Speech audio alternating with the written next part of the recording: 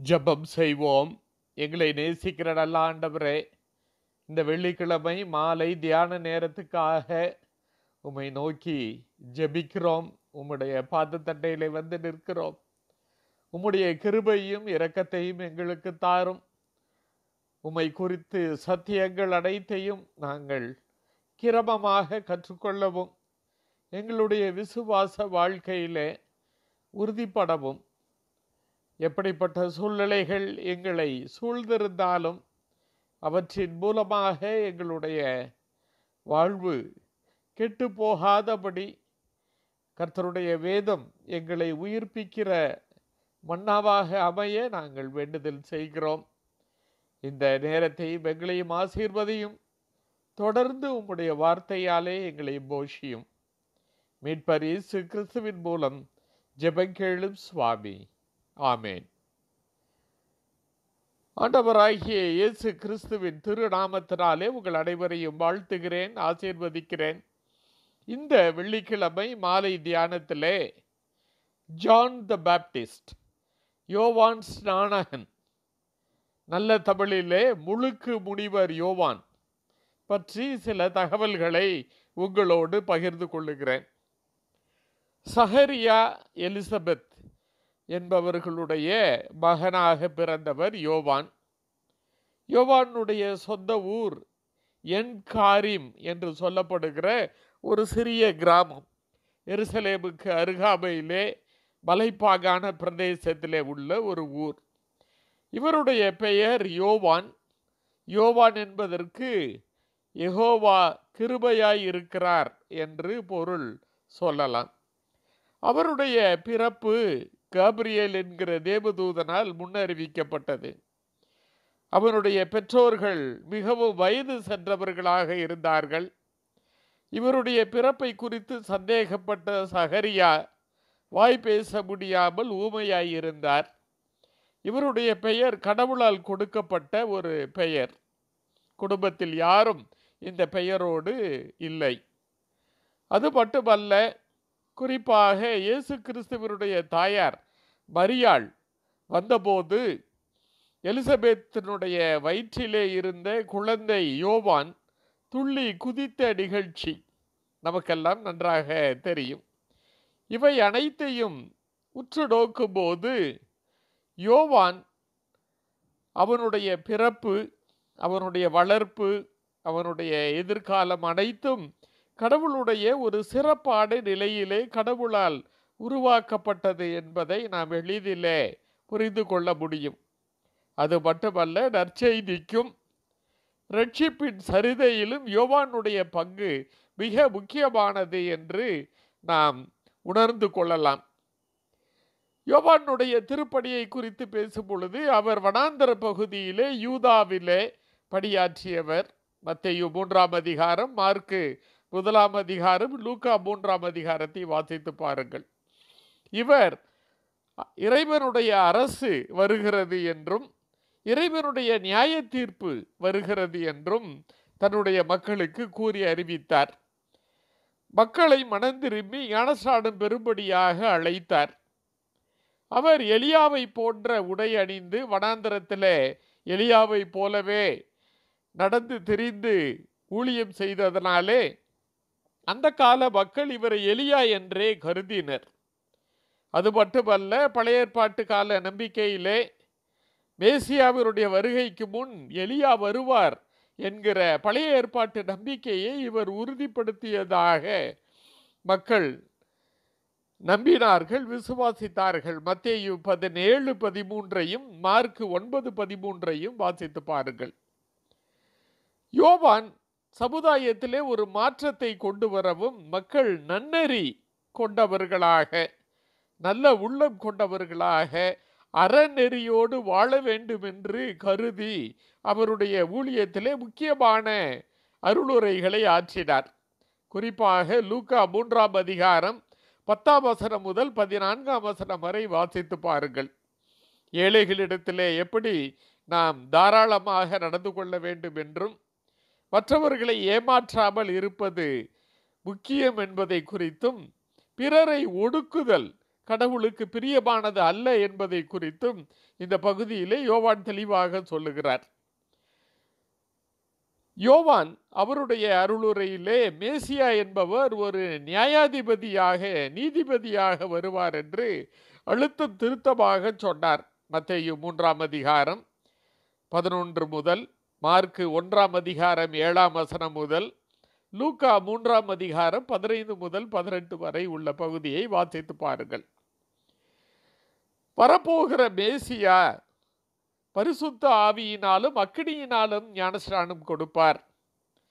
நான் இப்பொழுது கொடுக்கிற தண்ணீரினால் கொடுக்கப்படுகிற மனந்திரும்புதலுக்கு ஏற்ற ஞானஸ்நானம் மேசியாவினுடைய ஞானஸ்நானத்துக்கு ஒரு முன் ருசியாக முன் உதாரணமாக ஆயத்தமாக கொடுக்கப்படுகிற ஞானஸ்தானம் என்று தெளிவாக சொன்னார்.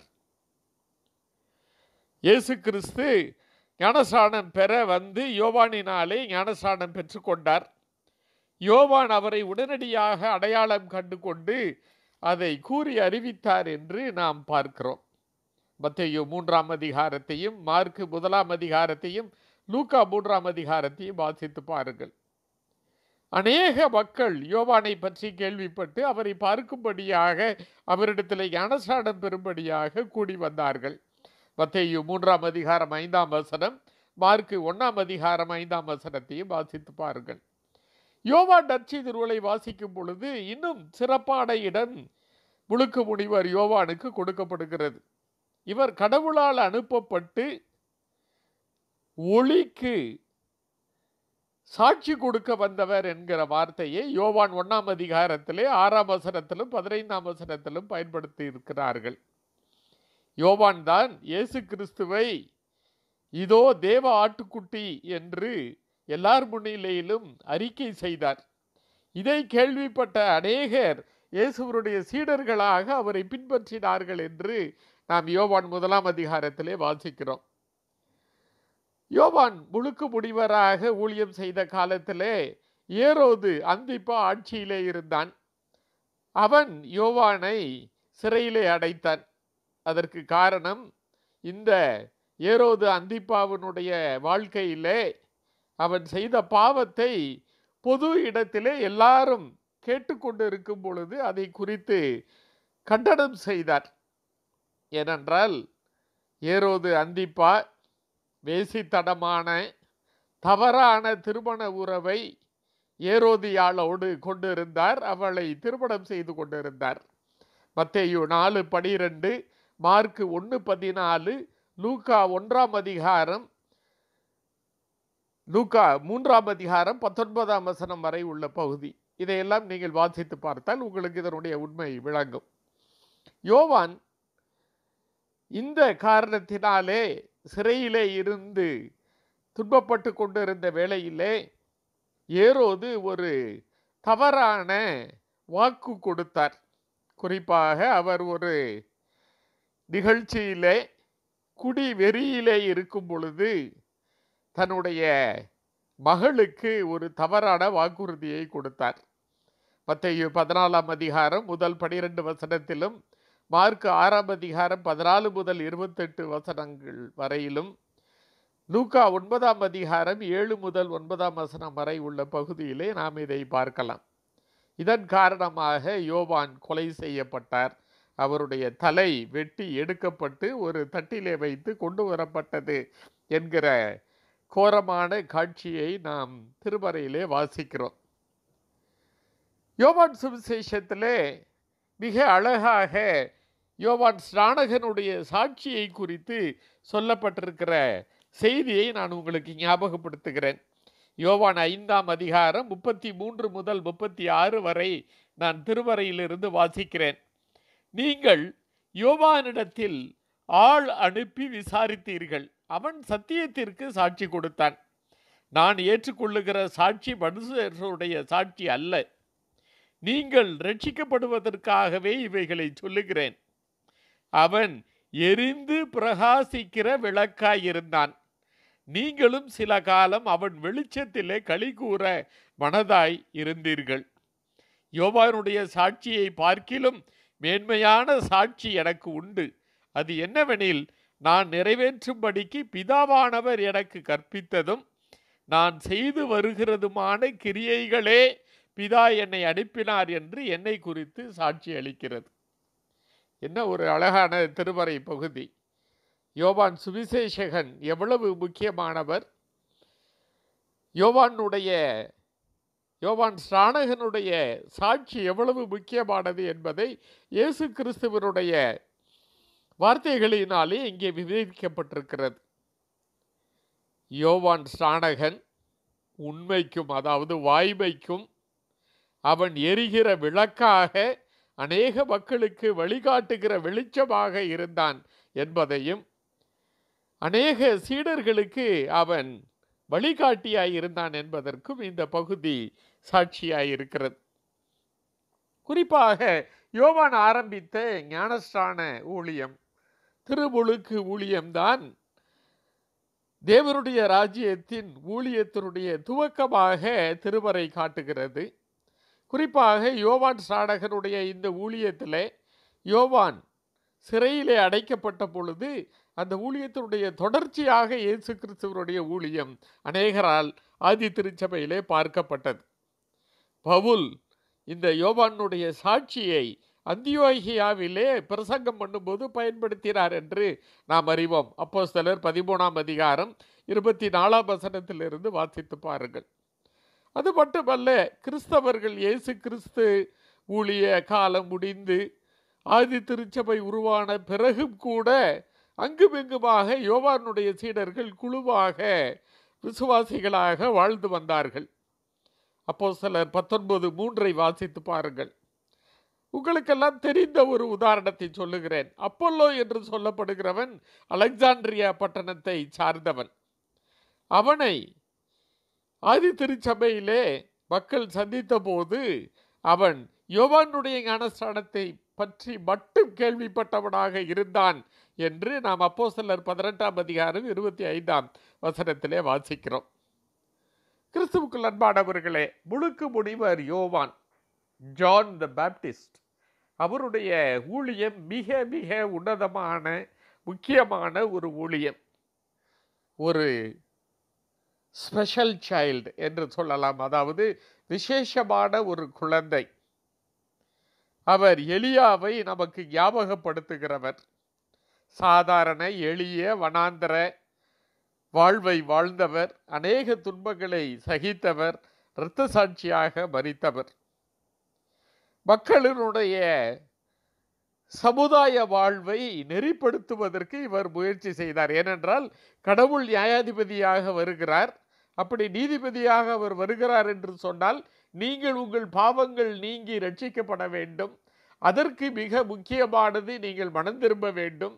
நீங்கள் மனம் திரும்பினீர்கள் என்பதற்கு அடையாளமாக ஞானஸ்தானத்தை பெற்றுக்கொள்ளுங்கள் என்று சொல்லுகிறார். இதில் உங்களுக்கு எந்த சந்தேகமும் வர வேண்டியதில்லை.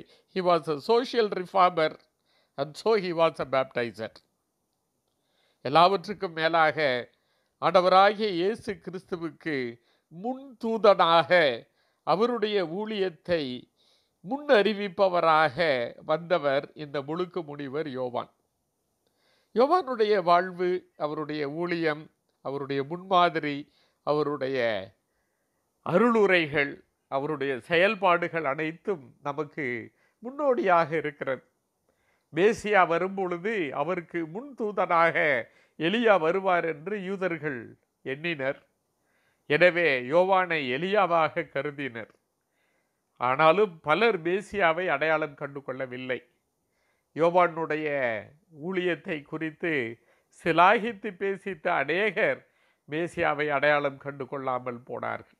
கிறிஸ்துவுக்குள் அன்பானவர்களே யோவானுடைய போதனைகள் அவருடைய ஊழிய வாழ்வு இன்றைக்கும் நமக்கு மிகவும் முக்கியமானது பிரயோஜனமானது. அவர் கற்றுத்தந்த மனந்திரும்புதலையும் விசுவாசத்தையும் சமுதாய மாற்றத்தையும் நாம் பின்பற்ற அழைக்கப்படுகிறோம்.